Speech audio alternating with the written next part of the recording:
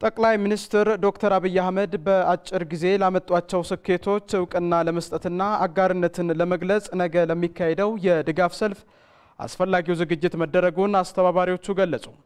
አስተባባሪዎቹ በሰጡት መግለጫ የድጋፍ ሰልፉ በሰላም ሁኔታ እንዲጠናቀቅ ከጸጥታ ኃይሎች በተጨማሪ የሰልፉ ባለቤት የሆነው የኢትዮጵያ ሕዝብ የበኩሉን ሚና እንዲወጣ የአስተባባሪ ኮሚቴው ሰብሳቢ አቶ ጉደታ ገለልቻ ገለጹ።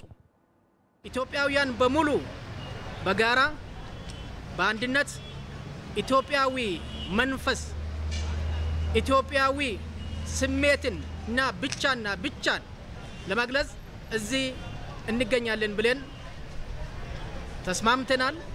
በነገው ዕለት በሰላም በፍቅር የምናሳልፍበት ቀን ይሆናል ብለን ተስፋ እናደርጋለን።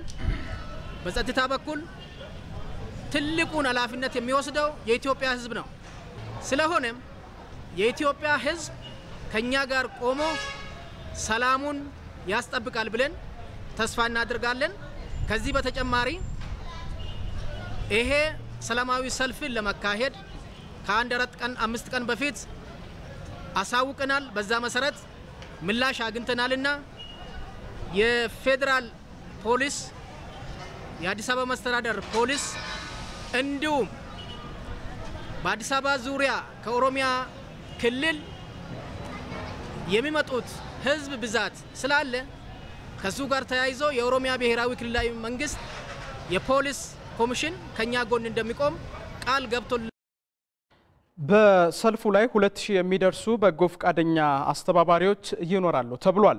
አራት ሚሊዮን የሚደርስ ህዝብም ይሳተፍበታል ተብሎ እንደሚጠበቅ የገለጹት የድጋፍ ሰልፉ አስተባባሪ ኮሚቴ አባል የሆኑት አቶ ስዩም ተሾመ በሰልፉ ላይ የሚታዩ አላስፈላጊ እንቅስቃሴዎችን ተሳታፊው በሰላማዊ መንገድ እንዲያስተካክል ጥሪ አቅርበዋል። እያንዳንዱ ወደዚህ የሚመጣ ተሳታፊ ማህበረሰብ የራሱን ሰላም ማስከበር መቻል አለበት።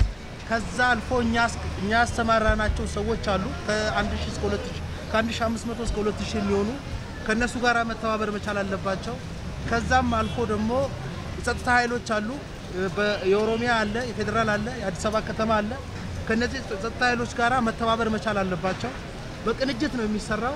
ከምንም በላይ ግን ዜጎች በራሳቸው ደህንነታቸውን ማስከበር መቻል አለባቸው።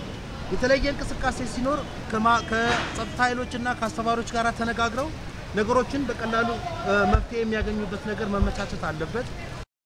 የድጋፍ ሰልፍ አስተባባሪ ኮሚቴው ባቀረበላቸው ጥሪ መሰረት ጠቅላይ ሚኒስትር ዶክተር አብይ አህመድ በሰልፉ ላይ ተገኝተው ንግግር ያደርጋሉ ተብሎ እንደሚጠበቅ የዘገበው ሪፖርተራችን አስማማዋየ ነው።